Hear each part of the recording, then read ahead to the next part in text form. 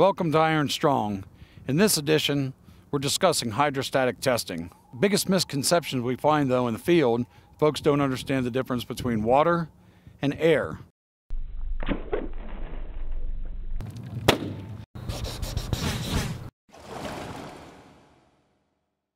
Hi, I'm Jerry Regula, product engineer for McWane Ductile. Today, we're going to walk you through a hydro testing process. This is all documented in the ANSI AWWA C600 installation guide for ductile iron pipe and fittings. We've taken this section of 12 inch pipe and slow filled it, ensuring that we remove all the air.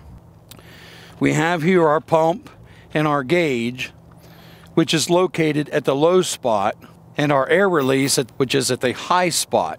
The test pressure should be the ultimate pressure that that line will see in its lifetime.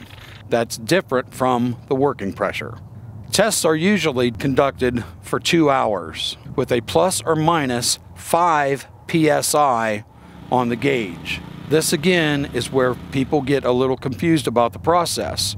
They focus too much on the pressure and not on the makeup water. Uh, hydrostatic testing, the main thing again is air. Next thing is pipe movement. Pipe lines move underground. Think of it as a big accordion under the ground. As you pressurize it, and if that pipe moves just a little bit, the pressure will go down. For the purposes of this video and safety concerns, we're only going to 50 psi. But what we want to show you is what happens when we go over here and loosen this come along and allow the joint to separate a little bit. And as I loosen this, you can see the joint start to separate. You can see the spigot stripe starting to come out. That's good enough there. And we've dropped down quite a bit on the pressure gauge. We're not losing any water. The volume of the pipe has just gotten bigger so the pressure drops. Measuring the makeup water is the key to success. All right. We can see here, we started with a full bucket of water. We used a little bit of makeup water to get back to our original pressure. So now we have a two quarts in this pitcher so I can measure and refill.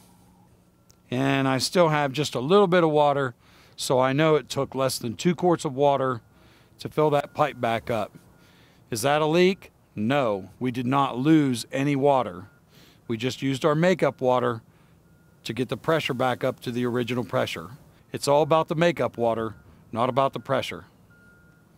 Today we've discussed the process of doing a hydrostatic test in the field. If you'd like a more detailed checklist, click the link in the video's description below. And as always, work hard, work smart, and work safe.